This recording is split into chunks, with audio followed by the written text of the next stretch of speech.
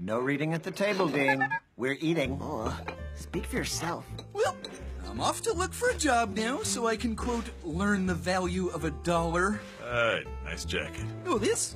Yeah, I looked up your Steve McQueen, and it turns out he was a pretty cool kid. And before you complain, I got it secondhand, and I didn't use my credit card.